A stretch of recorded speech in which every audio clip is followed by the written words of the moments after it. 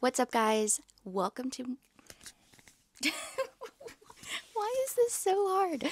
I don't know what to say. Okay. What's up, guys? My name is Dove. Welcome to my channel. This is only my second YouTube video ever, and if you were here for the first one, you will see that we have a huge system upgrade. Okay, I got a camera, I got a new microphone, or rather, I got a microphone, um, and we're no longer recording in photo booth on my MacBook. So, huge upgrade. Really excited to dive into our topic today because I am going to be talking about children's literature and how important I think it is. Specifically, we're going to be looking at Holes because I think Holes is the perfect example of everything that high quality, complex children's literature should be. Um, I'm really excited to be making this video. I'm this is something that I'm super passionate about. I also uh, wore my Very Hungry Caterpillar Eat the Rich t shirt for the occasion. so, the way this is going to go, we're going to dive into what makes children's literature high quality to begin with, and then go into why Holes is a great example of this. I'm also going to be referencing this book, which I picked up a couple years ago. It's called Wild Things The Joy of Reading Children's Literature as an Adult by Bruce Handy. So, buckle in. I think we're in for a good time. So, during the height of the pandemic, I, like I'm sure many, many other people, kind of went searching for anything that we thought would bring us comfort. I don't know about you guys, but I reconsumed a lot of the media that I really loved as a child, both from like TV shows that I enjoyed. I watched a lot of Phineas and Ferb, to be honest with you. Um, I reread a bunch of different books from different parts of my life. So, all the way back to like children's books, as well as, um, you know, some more middle grade books, which is why we're diving into holes.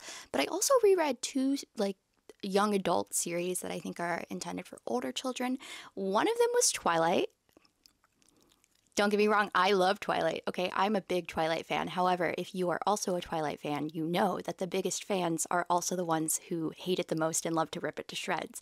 I love it. It's terrible, right? But revisiting the Hunger Games, oh my goodness, it was so much better than I even realized when I loved it the first go around. Um, like I got so much more out of it as an adult and was really able to appreciate the genius of Suzanne Collins' writing and storytelling and all of the very complex ideas that she was able to put into the story intended for teenagers. Um, and that is actually that experience is what led me to buy this book, which just led me down a deeper rabbit hole of rediscovering children's literature that I enjoyed as a child. By the time I hit high school, I basically wasn't reading like any young adult or middle grade at all anymore. I had already fully entrenched myself into like adult literary fiction, which is also a wonderful genre that I learned a lot from, but I think I really missed out on some of the wonderful, valuable aspects of media that is intended for children. Because I am a big believer, or rather, there's nothing to be believed about it, but children are an oppressed class of people. There is this like want to protect your children from the horrors of the world. And I think that does have a time and a place. I don't think kids need to be subjected to just how awful everything is in very like expressive terms in the way that adults can take that in, as if, you know, adults also have a toll from ex- experiencing the, wor- the world through that lens. But I feel like people have taken this too far of they're trying to protect children to the point of denying them their own lived experiences. Because children, despite being children, do in fact experience the horrors of the world just like adults do. Kids experience war and genocide and death and trauma, just like the rest of us do. And to deny stories intended for them at levels that they can understand that tackle these very real things that they may well be experiencing is doing a disservice to an entire group of people who are going to become adults one day. Their stories deserve to be told in ways that make sense to them. I think there's also this natural follow up of people kind of not taking children's media seriously from a literary perspective, from a critical lens. And it's only been within the past maybe 15, 20 years that we've started to see that idea shift. And, you know, critics are really valuing the content of children's media. Again, it, it's not like it hasn't happened in the past, okay? Obviously, we have the Newbery Award. Like, there are bodies of people specifically who go out and are like entrenched in the world of children's media and take it seriously. But that's really only been happening in small groups of people. And I think the wider public consciousness, there is something that they're missing out on.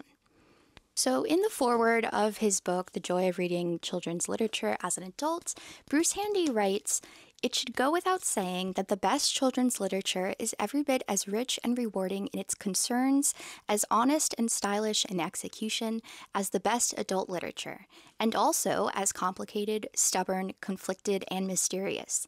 Like any worthwhile art, great children's books are capable of speaking in many different ways to many different readers.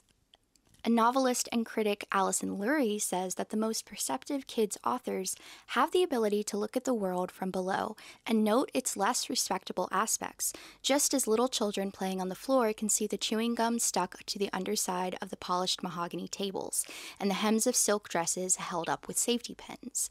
The fact of the matter is, children do have a different perspective on the world. And I think as adults, we are so self absorbed, like obsessed with this idea that we have the truly hard life. Okay, we're the ones in control, we know everything, we are better, that we tend to undervalue this perspective that children can bring. And the fact that as much as they are not experts in the world of adults, we are no longer experts in the world of children. And just as we have to teach children what it's like to live in our world, I think a lot can be gained from listening to children about what it's like to live in theirs. Jesus said to the people around him, Please let the little children come up here. I want to learn from them. He may not have said those words, but I think that's what he meant. Now, this is not to say that every single children's book out there is profound and wonderful and worth a read. In fact, I would say the opposite is true. Many of them aren't, and it's really only been, again, within the past honestly, okay, this one has been longer, maybe like 50, 60, 70 years that we have taken that turn towards the better. The first American children's book was published in 1690, and it included uh, hits such as this, this poem Love God, use no ill words, fear God, tell no lies, serve God, hate lies. Cheat not in your play, strive to learn, play not with bad boys, and be not a dunce. You know, some of some of that there is something to take. I do think be not a dunce is a pretty good piece of advice. Also, be fair in your play, pretty good piece of advice. But like, hate lies. I mean, also I guess pretty. But this is not engaging literature. This is just a lift list of prescribed rules that, frankly, kids are already hearing on repeat from their parents and other adults in their lives and have already learned to tune out. That type of book is not engaging or interesting.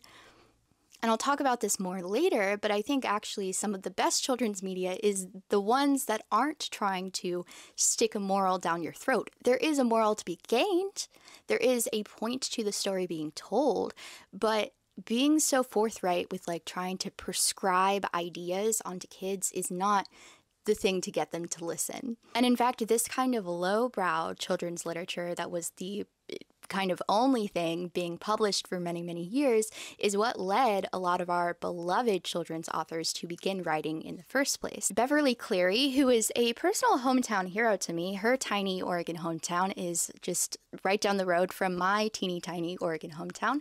She was also a longtime resident of Portland, and all of her uh, children's books are set off of Klickitat Street up in North uh, North Portland, but she literally started her career because of her disgust towards other children's books.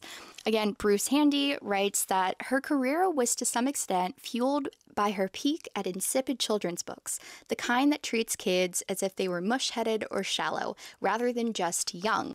In her memoir, My Own Two Feet, Beverly Cleary wrote, One morning, during a lull, I picked up an easy reading book and read, Bow wow, I like the green grass, said the puppy. How ridiculous, I thought. No puppy I had known talked like that. as I'm recording this, the sun is shifting, and although I have like an artificial light, I'm trying not to get the glare on my glasses, but it's coming in through my window, and I have like these little rainbow things. So that's why uh, my face is all rainbowy, but I think it's fun. I've talked a lot about how valuable high quality and complex children's literature is, but I think before we can dive into our case study, we need to define what actually makes a kid's book complex. What makes it high quality? What gives it these these aspects that make it worth revisiting that make it so valuable to the children reading for the first time?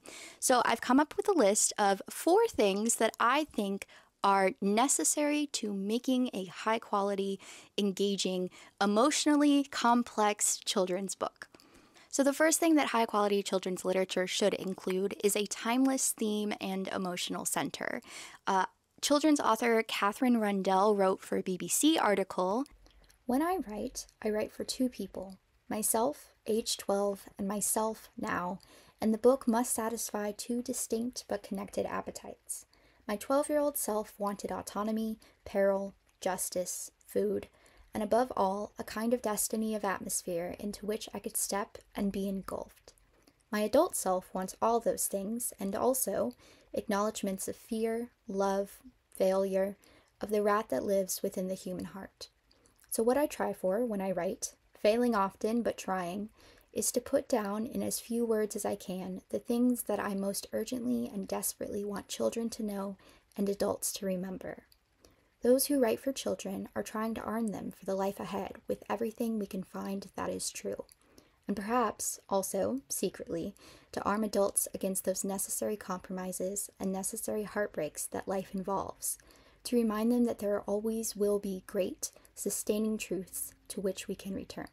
As adults, we might not be able to relate necessarily to the specific context of the story, but the things that the characters are feeling in those contexts should be able to translate to adult readers as well. I'm going to talk about it later, but in Holes, there's a teacher who kind of bullies Stanley in a way that's really unkind, and he feels embarrassed, okay? The teacher wasn't meaning this maliciously, but it came out that way, and ultimately, he still feels embarrassed. Embarrassment is something that we all encounter in all stages of our lives. It doesn't end with childhood, it, it doesn't begin in adulthood. So, things like that, where we can take that feeling and express it apro- across multiple different contexts, I think is a really important aspect to making this thing relatable. So, the second thing is that Again, even though the experiences within the book are not necessarily going to translate to the adults who are reading alongside these children, but I think the book needs to take its audience seriously and engage in those situations with good faith. Just because they may seem trivial as adults, like the, the specific situations don't seem like they necessarily carry the highest stakes. You know, again, thinking about like Ramona the pest, you know, some of the situations that she gets herself into really aren't that serious, but they are taken seriously through the lens of the book just because as adults we can look in that and say it really isn't that that big of a deal in the grand scheme of things when you think about children and what their world looks like day to day that is a big deal for them. It is a big thing in their grand scheme, right? Up to that point, they haven't had the lived experiences and complex, you know, p- political, social, socio-economic problems that we as adults have to face and deal with. They may have, and many, many children have dealt with the consequences of those things, but they aren't necessarily able to control those situations. I think a lot of children's books are going to be on situations that kids are in that they have control over, and they need to take that seriously. If you're going to be a children's author, you can't go into writing things from an adult perspective. You need to be consciously making an effort to give a good faith explanation of that experience from the child's perspective. But I think that people really do desire to be in touch with honesty, no matter what they say no matter what kind of bravado uh, precedes them. I think that they really want to be in touch with what they consider to be something honest that they can be related to. I think we all look for that. So, children's author Natalie O'Hara says that people in publishing often talk about child friendly books, which suggests something consoling, sweet, and kind of nostalgic. But that's a smokescreen, because those qualities attract parents and teachers more than children. Children like sweet and safe stories, but they also like dark, bleak, unsettling, or horrible stories. Children are like everyone else. They want stories that reflect the whole contradictory tangle of their lives. Being an adult talking to a child doesn't mean babbling sweet talk about happy bunnies. You can just be a human talking to another human. You can kind of say, This is something I've noticed about life. What do you think? So, David Newell, who played Mr. McFeely, the mailman on Mr. Rogers' Neighborhood, reflected on this exact thing, saying that I think a lot of people really didn't understand the program or it didn't appeal to them. I think maybe they thought it was a little sugar coated, which it was not at all. Fred would take the toughest subjects and deal with them divorce, death. Over the years, we did adoptions, sibling rivalry, jealousy, love, and did them so sensitively. But I wonder if people saw a lot of that. A lot of it is very subtle and not dynamic at all. Now, talking about Mr. Rogers and his genius is again a whole different video. But Mr. Rogers himself talked about this idea that there is so much drama in the everyday lives of children. We don't necessarily need to make up these big, sprawling stories to express these ideas. Now, that's not to say there isn't value in that, but we'll get into it more.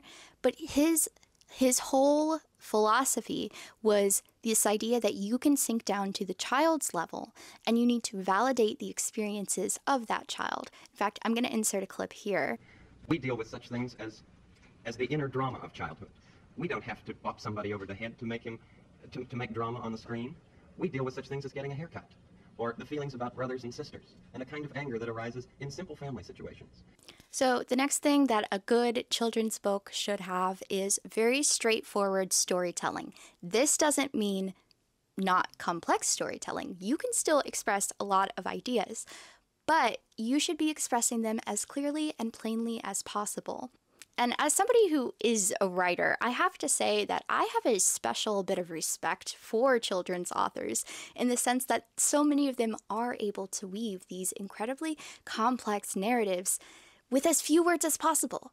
I really struggle with that, okay? And I have so much respect for how plainly these people can write and still get these big, poignant ideas across.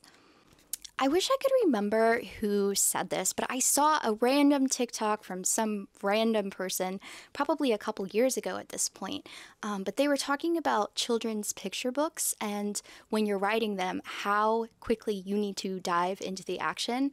And the metaphor that they used is the rocket should be taking off on page two. I don't remember what book they were talking about, but it was a, a picture book about some kids or maybe bears or something going to space in a rocket ship. And the rocket takes off on page two out of a 38 page picture book. Children's stories should get to the heart of the issue at the beginning, okay? And I'm actually going to read from my childhood copy of Charlotte's Web because I think uh, this opener is a perfect example of that. Literally, opening line.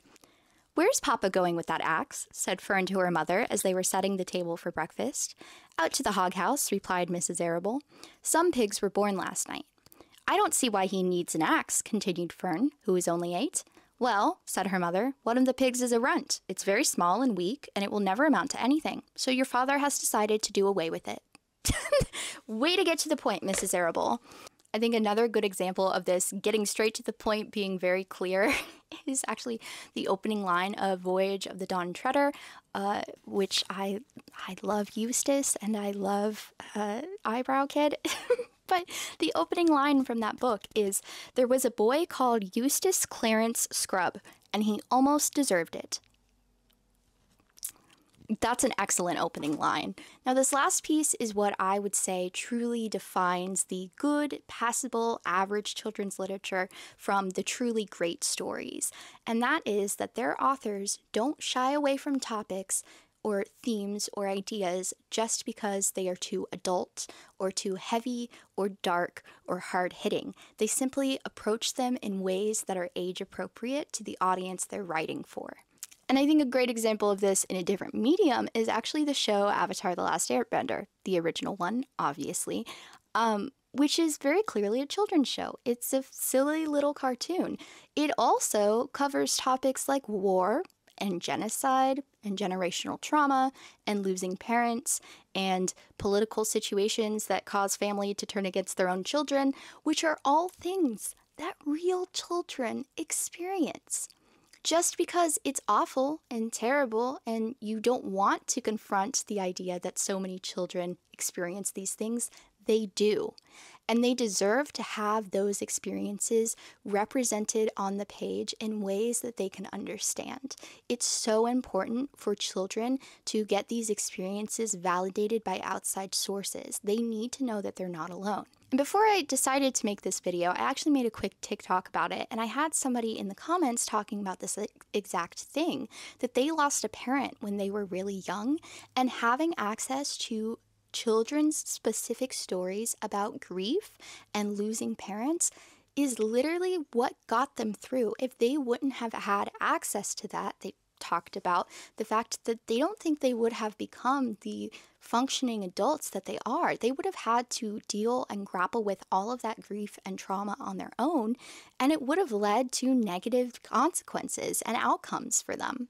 And for the children that are lucky enough to not need these stories, it's still valuable because it teaches them things that they will inevitably have their friends deal with, or that they will have to deal with in the future. Or say they're lucky and they never have to deal with any of these things, although grief is inevitable and you will always lose the people that you love eventually. Even ignoring that, having access to these stories teaches empathy. And my goodness, in the world we live in today, we could all do with some more empathy. In her essay called The Child and the Shadow, famed sci fi author Ursula K. Le Guin writes There is still, in this country, a deep puritanical distrust of fantasy, which comes out often among people truly and seriously concerned about the ethical education of children. Fantasy, to them, is escapism. They confuse fantasy with infantilism and pathological regression. They seem to think that shadows are something we can simply do away with if we only turn on enough electric lights. It's hard not to get entangled in the superficialities of the collective consciousness, so that you end up with the baddies and the goodies all over again. Or writers are encouraged to merely capitalize on sensationalism, upsetting the child reader without themselves being really involved in the violence of the story, which is shameful. Or you get the problem books the problem of drugs, of divorce, of race prejudice, of unmarried pregnancy, and so on, as if evil were a problem, something that can be solved, that has an answer, like a problem in fifth grade arithmetic. That is escapism, posing evil as a problem instead of what it is all the pain and suffering and waste and loss and injustice we will meet in all our lives long, and must face and cope with over and over and over, and admit and live with in order to live human lives at all. The young creature does need protection and shelter, but it also needs truth. What he needs to grow up is reality, the wholeness which exceeds all our virtue and all our vice. He needs knowledge. He needs self knowledge. He needs to see himself and the shadow he casts.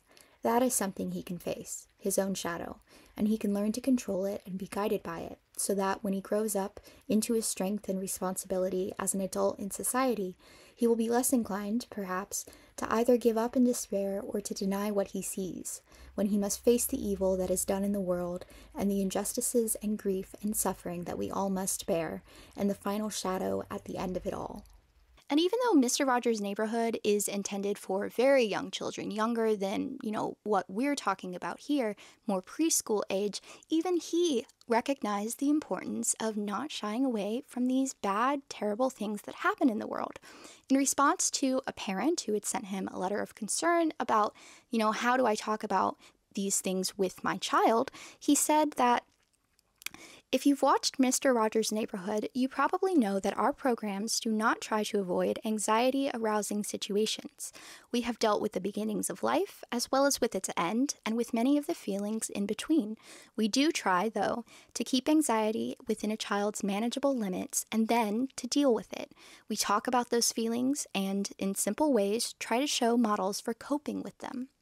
So, now that we've defined what makes children's literature high quality, we can dive into the meat here, which is Holes is the epitome of that. This is what every single children's book should strive to.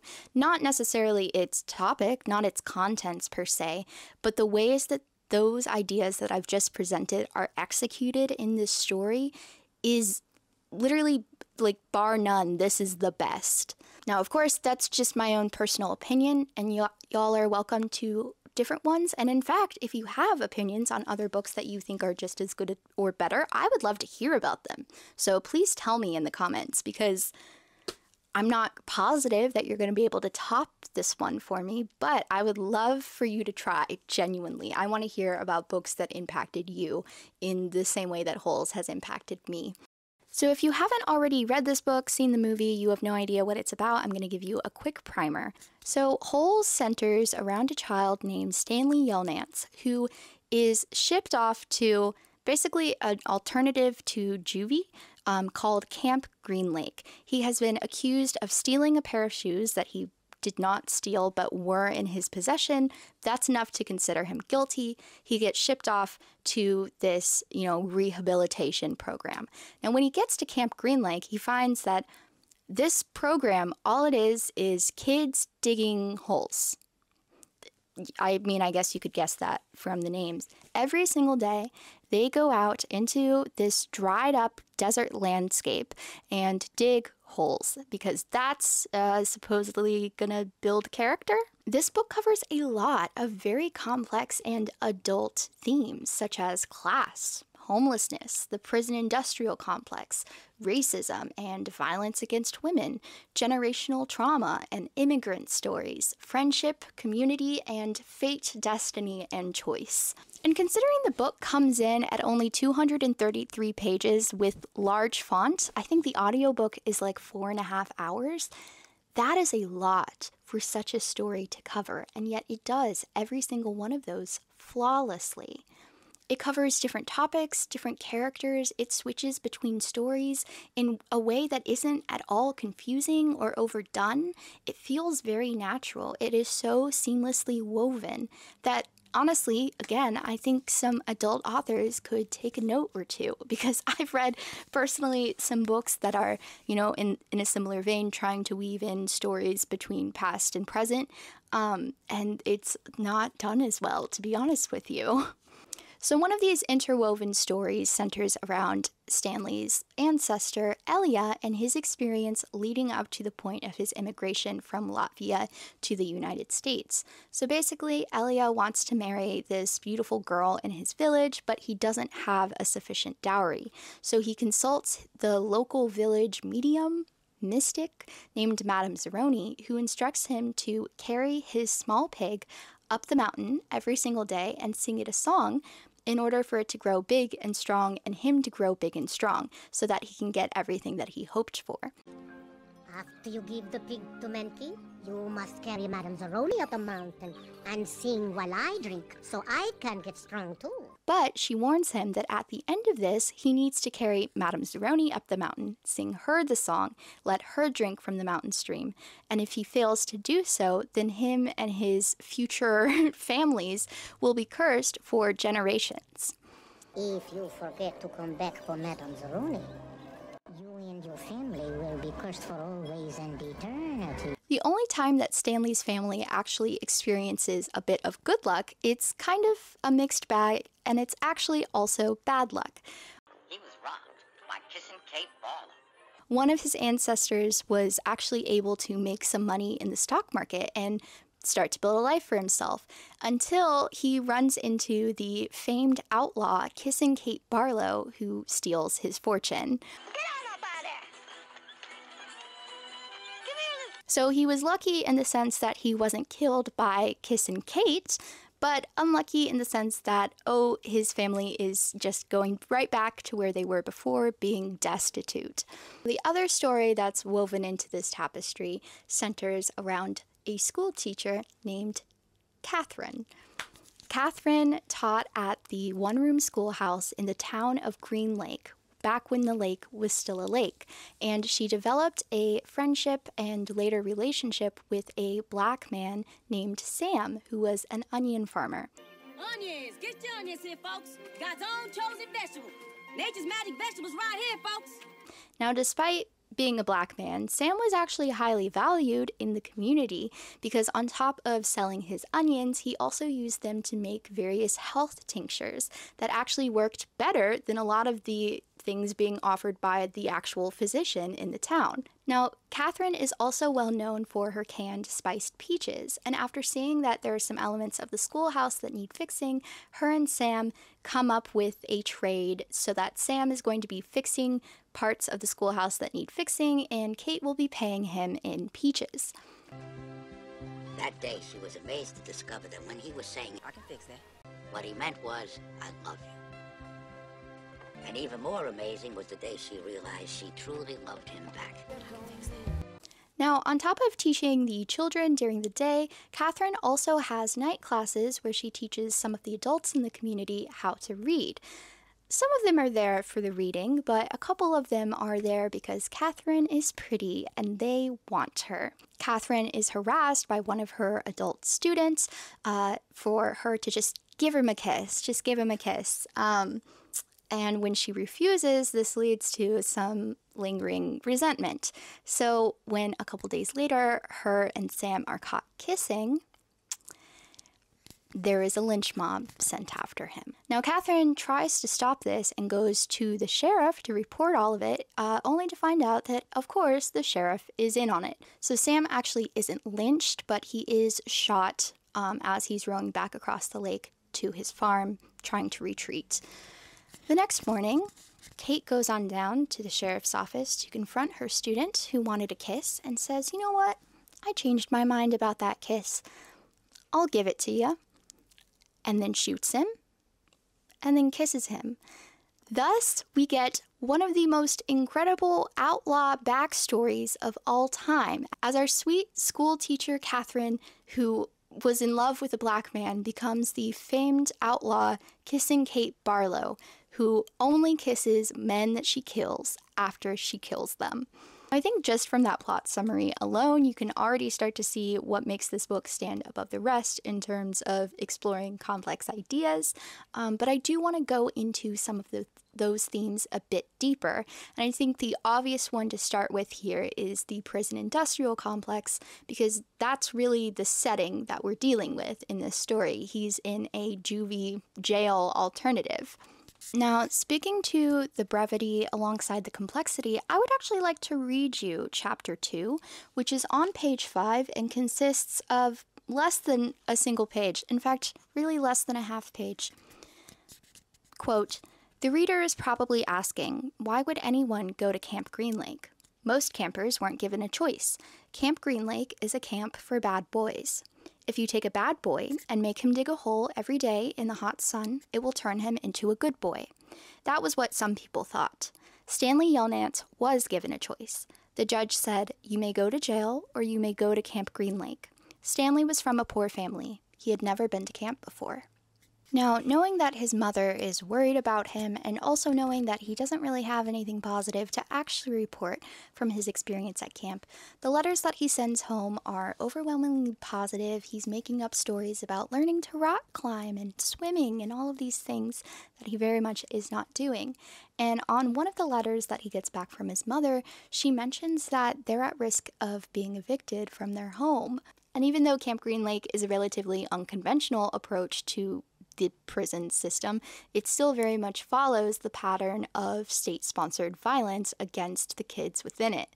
Despite the fact that they're very isolated from the outside world and the resources on the grounds are actually pretty limited, even for the adults there as well, um, there is an overwhelming element of panopticism that the campers experience.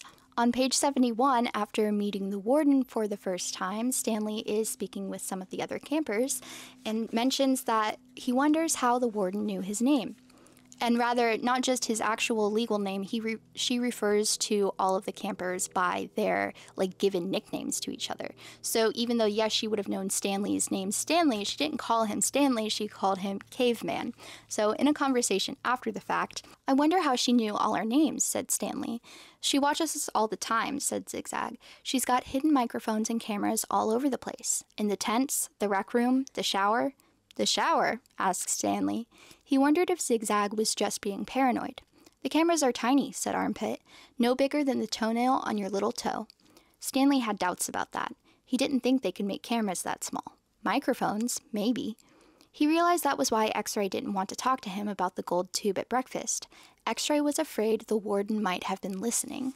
But just like many real people who are victims of the prison industrial complex today, Stanley was not actually guilty of the crime that he was being punished for.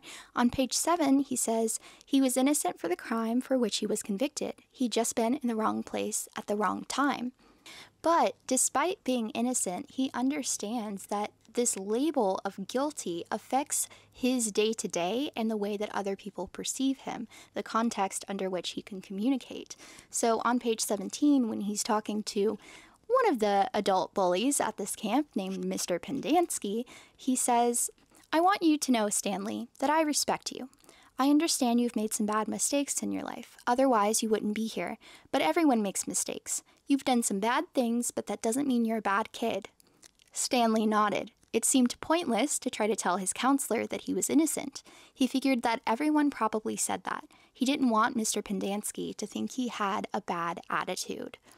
But it's very much a damned if you do, damned if you don't situation because just a few pages later, when the other campers are asking Stanley why he's there and he owns up to the crime that he didn't commit, they don't believe him. Now, as Stanley lay on his cot, he thought it was kind of funny in a way. Nobody had believed him when he said he was innocent. Now, when he said that he had stolen them, nobody believed him either.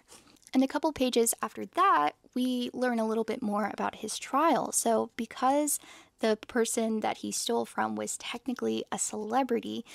Because of this, we learn that Stanley wasn't able to nail down a public defender and his family was too poor to afford a lawyer, and he was therefore forced to represent himself in court. You don't need a lawyer, his mother said. Just tell the truth. Stanley told the truth, but perhaps it would have been better if he had lied a little. He could have said he found the shoes in the street. Nobody believed that they fell from the sky, which I guess is not a detail I told you. But again, I told you he didn't steal them, so they literally fell from the sky, and then he had them and then was caught with them. Now, we can't get much further into this without discussing Stanley's one friend, one true friend that he made during his time at camp, Zero. Now, Zero got his nickname because he is consistently underestimated by his peers and even the adults at the camp. Um, his name is because they say there's nothing knocking around in that brain of his. Basically, he's dumb and his brain is empty.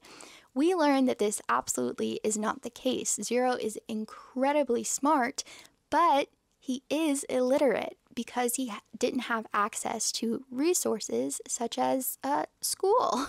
We learned that Zero was actually homeless and went long stretches of time without his mother around. It's kind of implied very, very subtly that his mother was a sex worker and would go missing for periods of time, presumably with clients. But it isn't revealed until later in the book that Zero is actually the person who did steal the shoes from the homeless shelter where he was accessing resources. And the fact that he was accessing those resources was actually out of the ordinary because he mentioned that he would avoid going to the shelters because he would get questioned about where his mom is. And if they found out that his mom was like actually missing, he would become a ward of the state, which he knew he didn't want to be. So, even the resources that are there to help him are just another tool of state sanctioned violence against him. So, another theme that we see recurring pretty often is this idea of community care and kind of taking care of each other. I'll scratch your back if you scratch mine. Barter and trade comes up a lot throughout the story. We see this in a literal sense in Kate and Sam's story, where they're trading onions and peaches and repair work. Um, but we also see it between Zero and Stanley. Zero manages to convince Stanley to trade him reading lessons, instruction, uh, for Zero helping Stanley dig his hole and therefore finish earlier so that they have more time for him to learn. Stanley is kind of the only person in this book who doesn't underestimate Zero, realizing very quickly just how smart he is. And in fact, he's a whiz in math skills. When Stanley is talking about Zero needing to learn the different letters and then realizes that there's uppercase and lowercase letters, Zero immediately knows, oh, so there's 52 I need to learn, not 26. And Stanley's, or yeah, Stanley's like, how did you even know that? Like, how did you do? And or Zero, I keep calling him Hector because I know his name. Zero, Zero, uh, Zero is like, I don't know, it just is. And we see that come up more often. Zero, just math he gets, direction he gets. He just doesn't know how to read. That doesn't mean he's not incredibly smart. I think the overarching theme that can be found throughout every little piece of this story is this idea of fate, destiny, choices, and breaking cycles. Throughout the entire book, Stanley refers to his situation in these terms. He's thinking about it through the lens of luck and curses. His family has bad luck, they've been cursed. In fact, when so Stanley's father is like trying to find he's an inventor and he's trying to invent a remedy for stinky shoes, okay?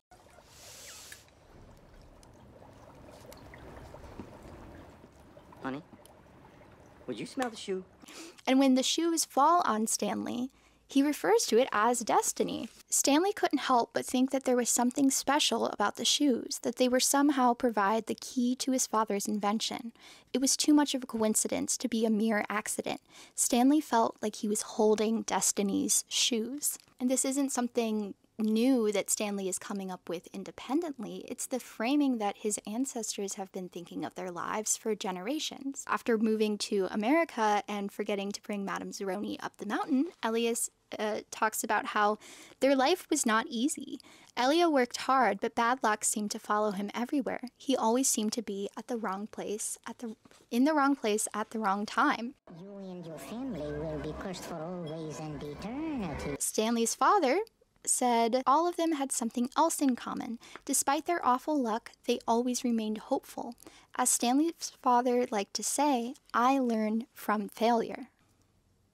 This book is so well woven that I'm really struggling to like give you guys all of the context necessary for every little thing that I'm talking about because I'm like, oh, I need to explain this. So, after Stanley's ancestor was robbed but not killed by Kissing Kate in the desert in the area that would become Camp Green Lake, um, he was found like a few weeks later, seemingly incoherent, and the he he claimed that the only reason he survived is because of God's thumb. Nobody really knows what that meant. And also, he was so mad from like dehydration and all of that stuff that he also didn't really know what he meant by it. After an altercation, uh, Zero ends up running away and off into the desert. And after a day or so, Stanley ends up following him, hoping he can bring him back and that he hasn't died out in the desert.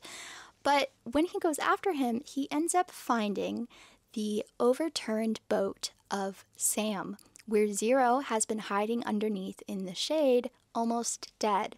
When he joins Zero underneath, uh, turns out Zero has been eating what he has lovingly referred to as sploosh, but is actually um, some of Kate's canned peaches from over a hundred years ago that uh, luckily didn't give them botulism. Stanley tries to convince Zero to come back with him to Camp Green Lake, but Zero is not budging. He's not going to do that. So, desperately looking for other options, Stanley scout- scans his surroundings and sees something a little peculiar. Is that not right there? That one? Yeah. Huh. What does that look like to you?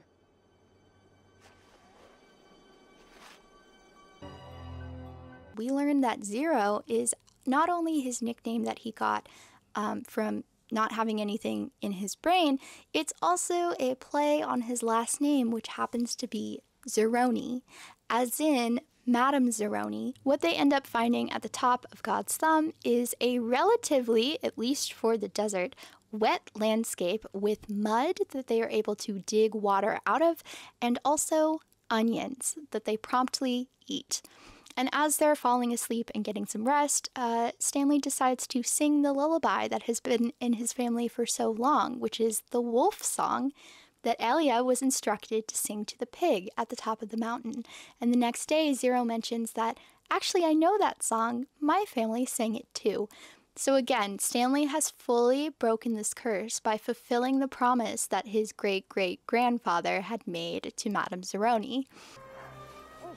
You must carry Madame Zeroni up the mountain and sing while I drink, so I can get strong too. So throughout the story, onions are consistently healing and life giving. When we first encounter uh, Sam's onions in the flashback to uh, Kate and Sam's story, again, he's well known for the onion tinctures that work better than the doctor's cures. The ancient Egyptians knew the secrets of the onions. How its potent juices can cure stomach aches and toothaches, measles and mumps, rheumatism, hemorrhoids. if you don't believe me, just ask Mary Lou. All she eats is onions, and she's almost 100 years old. Also, when they reach the top of this mountain, it is life giving. It is the, the onions at the top of God's thumb are what saves both Stanley's, however, great grandfather and also Stanley and Zero. Meanwhile, the peaches are sweet and pure and persevering, almost as if Sam and Kate's love has survived in a tangible way. And not only does this love survive, it's what actually sustains the two of them on their journey. So, after putting all of the pieces together and thinking back to where he actually found the lipstick tube of Kissing Kate Barlow, he realized that there's a good chance that his family's treasure is around the spot where he dug the hole and found the lipstick tube in the first place. So, him and Zero decide to go back and dig one final hole, hoping to find his family's missing fortune.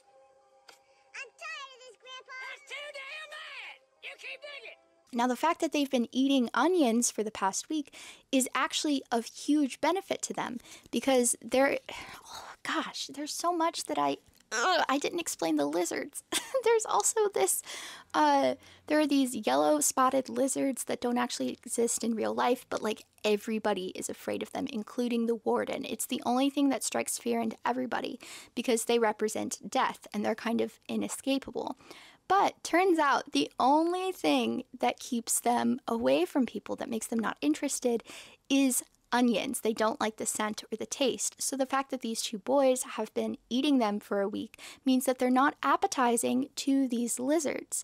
So when Zero and uh, Stanley are actually discovered searching for the treasure by the warden, Mr. Sir, but realizes that they're covered in these lizards. The warden is basically like, well, let's just wait them out. There's no way they're going to survive that. Except they do because of the onions, reaffirming that the onions represent this life giving energy. Now, the lizards themselves are representative of danger and death in the harsh landscape. It's explained that they didn't actually exist in the area until after the lake had dried up after Sam was killed. Part of the basically killing Sam put a curse on the landscape as well, meaning that there hasn't been any rain in the area for over a hundred years. That's why the lake has completely dried up. After many years of being kissing Kate Barlow, she finds herself back in the lake bed, continuing to mourn the loss of Sam. But while she's there, she's confronted by one of her students that she rejected many years before with uh, his wife, who was also one of her child students. And he they basically try to threaten her to tell them where she buried the treasure because they know that it's somewhere in the vicinity. The woman came to her. Where is it? she demanded. Linda Miller? asked Kate. Is that you? Linda Miller had been in the fourth grade when Kate Barlow was still a teacher. She had been a cute, freckle faced girl with beautiful red hair. Now her face was blotchy and her hair was dirty and scraggly. It's Linda Walker now, said Trout. Oh, Linda, I'm so sorry, said Kate. Trout jabbed her throat with the rifle. Where's the loot? There is no loot, said Kate. Don't give me that, shouted Trout. You've robbed every bank from here to, to Houston. You better tell him, said Linda. We're desperate. You married him for his money, didn't you? asked Kate. Linda nodded. But it's all gone. It dried up with the lake. The peach trees, the livestock, I kept thinking it has to rain soon. The drought can't last forever, but it just keeps getting hotter and hotter and hotter. Her eyes fixated on the shovel, which was leaning up against the fireplace. She's buried it, she declared. I don't know what you're talking about, said Kate. There was a loud blast as Trout fired his rifle just above her head. The window behind her shattered. Where is it buried? he demanded. Go ahead and kill me, Trout, said Kate. But I sure hope you like to dig, 'cause you're going to be digging for a long time. It's a big, vast wasteland out there. You and your children and their children can dig for the next hundred years, and you'll never find it. The lizard landed on Kate's bare ankle. Its sharp black teeth bit into her leg. Its white tongue lapped up the droplets of blood that leaked out of the wound. Kate smiled. There was nothing they could do to her, to her anymore. Start digging, she said. Where is it? Linda screeched. Where'd you bury it? Trout demanded. Kate Barlow died laughing. Kate doesn't fear death because, frankly, life has nothing left for her to offer. And I think it's really fitting. Her whole persona has been built upon uh, the idea that she is the literal kiss of death. It's not something she fears, it's something she frankly, was ready for. When the shoes first fell on him, Stanley felt like it was destiny, like it was going to be the answer to solving all of his family's problems. In fact, he even says that it felt like he was holding destiny's shoes. Of course, when he ends up going through everything that he goes through, this feels less so like destiny and more like bad luck. But towards the end of the book, he actually reverts back to his original idea that it had been destiny all along, and it was instead the chance for him to break the cycle. As Stanley stared at the glittering night sky, he thought there was no place he would rather be. He was glad Zero put the shoes on the parked car. He was glad they fell from the overpass and hit him on the head. When the shoes first fell from the sky, he remembered thinking that destiny had struck him. Now he thought so again. It was more than coincidence, it had to be destiny. So, while there is this ongoing theme of the actions happening within the story being fate and destiny, there is an element of choice within that framework. So, even though you know, they've kind of been cursed this whole time, there was never going to be a good answer.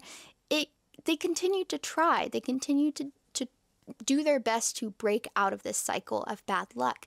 And I think it's a really good metaphor for the ways that yes, you can do the best with your circumstances and you can take hold of some elements of it, but ultimately we are all still still operating within a larger framework of society, of capitalism that we can't break free from, and our choices are not always going to be able to overcome those. We cannot on an individual scale conquer the things that are looking to oppress us, the things that are keeping us down, the cycles that we are stuck in. Of course, Stanley and his family do get a good ending. He's able to find the treasure. Um, him and Zero, Zero is able to find his mom. Like, it's a good ending, but ultimately, like, breaking out of that cycle wasn't something that Stanley chose to do. It's something that he was he had the opportunity to do. It was he couldn't just choose to get out of it. It was he was presented with the the way out. So, the other motif, uh, probably the most obvious one, is of course digging. But beyond just digging the holes for, you know, character building, um, there's also a lot of metaphor to go into the idea of digging deep within you, as well as uh, digging your grave. I think this is another good point of, you know, the story trusting its child audience to be able to grapple with these things where as they're working their way up the mountain, it says Zero knelt, bent over with his head on the ground. Stanley could hear a very low moaning sound coming from him. He looked at the shovel and couldn't help but think that he might need to dig a grave. Zero's last hole. And who will dig a grave for me? he thought. It's important to note that this story is not all doom and gloom. It's actually quite delightful and funny in, in certain parts because it's not because we're trying to bring humor to the situation, it's because kids are in it and kids are funny. Stanley is a very sensitive kid who's able to see the humor in a lot of situations, and that comes out within his narrative. And I think that's really evident in one part where he's chatting with one of his fellow campers, X Ray, and they're talking about his name. So, you're new here, right? said X Ray. I've been here for almost a year. I've never found anything. You know, my eyesight's not so good. No one knows this, but you know why, why my name's X Ray? Stanley shrugged one shoulder. It's pig Latin for Rex. That's all. I'm too blind to find anything.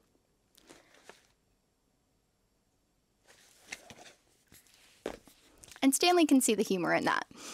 So while they're in one of the holes uh, with Stanley's treasure, basically waiting for the lizards to kill them, we also learned that the warden is another person intergenerationally linked within the story. And just like the others in her family, her life has been taken over by this obsession uh, to find the treasure. The warden is not like a a good character or a positive person within the book, but you do have to feel a little bit bad for her when this thing that her whole life has been wasted looking for is finally right in front of her and she doesn't even get the satisfaction of touching it. It's not that I wanted her to have the treasure that she deserves, even a single piece of it, but you do have to feel a little bit bad because her life has been ruined by the cycles built by her ancestors just like Stanley and Zero's have. Now, let's talk about the movie because I honestly think that this is one of the best book to screen adaptations I've ever seen. It is basically a line by line retelling of the book. And I think that's actually a testament again to one of the aspects that I think makes good children's literature is being able to explore these themes in as few words as possible. The fact that the movie touches on literally every single detail from the books um, and it still fits within the two hour runtime is a great example of Louis Sachar really choosing his words intentionally. Like, there is not a single piece from this book that isn't necessary. It's also helpful that the author also wrote the screenplay. Normally, that's not a good thing. Normally, that it that kind of situation turns into something really bad because of the fact that authors tend to want every single detail represented. They're writing for a different medium that they don't have experience with. But in this case, it actually really worked because of the fact that every single detail is necessary. So Louis Sachar just basically added to his book. We get a few additional scenes exploring things that Stanley isn't personally witnessing. So, like, we get to see a couple uh, scenes with his family. By the way, fantastic cast. His dad is played by uh, Henry Winkler, which is hilarious. Their scenes are so funny. Oh my god, honey, can't you just wait till I'm finished eating? I know I've asked you a million times, just a million and one more. Smell the shoe. Honey, I don't smell anything. What? I didn't smell anything. Uh-huh. Pa, what do you smell? Nothing. Peaches and onions. That's the secret. I don't smell anything. You don't smell anything. I don't smell anything. Whoa, I don't smell, Smell anything. anything. We don't smell anything. I told you I was on the brink of no stink. I don't smell anything. I don't smell anything. But how effectively the entire story fits within a two hour runtime is really just a testament to the efficiency of the storytelling. He explores so many themes, but he does it so succinctly. Also, the movie just straight up had a really great cast. Okay, we have Henry Winkler as uh, Stanley's father. We have Shia LaBeouf as Stanley. We have Sigourney Weaver as a warden. I think we got something. We got something nice. We got something nice.